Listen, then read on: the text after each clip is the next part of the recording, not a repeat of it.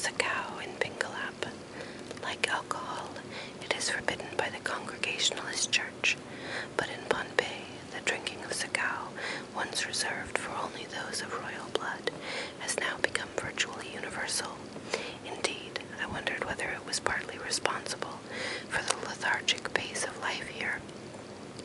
The Catholic Church, more accommodating than the Congregationalist, accepts it as a legitimate form of sacrament. We had seen Sakau bars in town and thatched open-air bars all over the countryside, circular or semicircular, with a great metate or grinding stone, which the Pohnpeians call a pedal, in the center, and we remained eager to try some ourselves. We had been invited by a local physician and colleague of Greg's, May Okahiro, to experience a traditional Sakau ceremony that evening. It was a cloudless evening, and we got to our house at sunset and settled into chairs on our deck, overlooking the Pacific. Three Pohnpeian men, wiry and muscular, arrived, carrying a pepper roots and a sheaf of slimy inner bark from a hibiscus plant. A large petal awaited them in the courtyard. They chopped the roots into little pieces and then started pounding those with heavy stones in an intricate, syncopated rhythm like the one we heard across the water on our return from Nan Madol. A sound at once attention holding and hypnotic because, like a river, it was both monotonous and ever changing. Then one man got up, went to get fresh water, and poured this in, a little at a time, to the wet, pulpy mass in the metate, while his companions continued their complex, iridescent rhythm. The roots were all macerated now, their lactones emulsified. The pulp was placed on the sinewy, glistening hibiscus bark, which was twisted around, which was twisted around it to form a long, closely wound roll. The roll was wrung tighter and tighter, the sakau extruded, vicious, reluctant at its margins. This liquid was collected carefully in a coconut shell, and I was offered the first cup. Its appearance was nauseating, gray, slimy, turbid, but thinking of its spiritual effects, I emptied the cup. It went down easily, like an oyster, numbing my lips slightly as it so. More sakau was squeezed out of the hibiscus sheath, and a second cup of fluid obtained. It was offered to Knut, who took it in the proper way, hands crossed, palms up, and then quaffed it down. The cup, emptied and refilled half a dozen times, went to each person according to a strict order of precedence. By the time it came back to me, the sakau was thinner. I was not wholly sorry, for a sense of such ease, such relaxation had come on me that I felt I could not stand, that I had to sink into a chair. Similar symptoms seemed to have seized my companions, but such effects were expected, and there were chairs for us all. The evening star was high above the horizon, brilliant against the near violet backdrop of the night. Knut, next to me, was looking upward as well and pointed out the pole star, Vega, Arcturus overhead. These are the stars the Polynesians used, said Bob, when they sailed in their proas across the firmament of space. A sense of their voyages, five thousand years of voyaging, rose up like a vision as he talked. I felt a sense of their history, all history, converging on us now, as we sat facing the ocean under the night sky. Pohnpei itself felt like a ship. May's house looked like a giant lantern, and the rocky prominence we were on like the prow of the ship. What good chaps they are, I thought, eyeing the others. God's in heaven, and all's well with the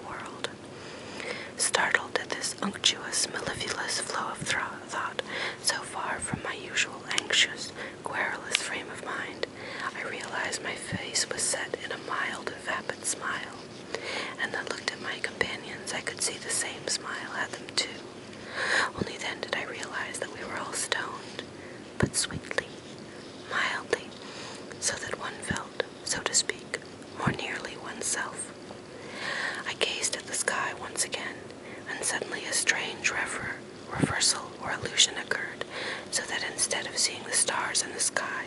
I saw the sky, the night sky, hanging on the stars, and I felt I was actually seeing Joyce's vision of the heaven tree of stars hung with humid and night blue fruit.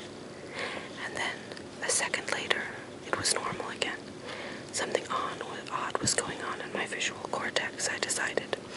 A perceptual shift, a reversal of foreground and background, or was this a shift at a higher level, conceptual or metaphoric one? Now the sky seemed full of shooting stars. This I assumed was an effervescence in my cortex, and then Bob said, Look, shooting stars. Reality, metaphor, illusion, hallucination seemed to be dissolving, merging into one another. I tried to get up, but found I could not. There had been a gradually deepening numbness in my body, starting as a tingling numb numbness in my mouth and lips, and now I no longer knew where my limbs were, or how I could get them to move. After a momentary alarm, I yielded to the feeling, a feeling which, uncomprehended, was frightening, uncontrolled, but which now accepted was delicious, floating, levitation. Excellent, I thought. The neurologist in me aroused. I have read this, and now I'm experiencing it. Lack of light touch, lack of per perception. This must be what de-afferentation feels like. My companions, I saw, were all lying motionless in their chairs, levitating too, or perhaps asleep. All of us, indeed, slept deeply and dreamlessly that night, and the next morning awoke crystal clear, refreshed, clear at least, cognitively and emotionally, though my eyes were still playing tricks, lingering effects. I presumed of the Sakau. I got up early and recorded these in my notebook. Floating over coral heads, lips of giant clams, preser- preservating, filling the whole visual field. Suddenly a blue haze, luminous blobs fall from it. I hear the falling blobs distinctly, amplifying. They fill my auditory sensorium. I realize it is my heartbeats, transformed that I am hearing. There's a certain motor and graphic facilitation, preservation too, extracting myself from the sea bottom. The clam lips, the blue falling blobs. I continue writing. Words speak themselves aloud in my mind, not my usual writing.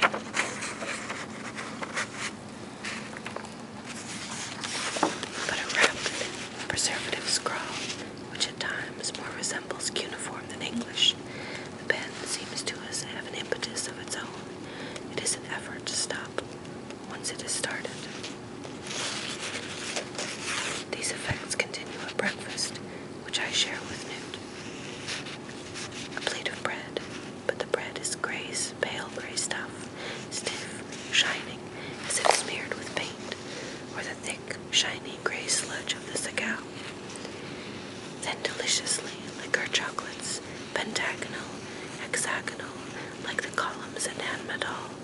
Ghost petals ray out from a flower on our table, like a halo around it. When it is moved, I observe it slight train, a visual smear, reddish in its wake. Watching a palm waving, I see a succession of stills, like a film run too slow, its continuity no longer maintained. And now, isolated images, scenes, project themselves on the table before me. Our first moment on Pingelap,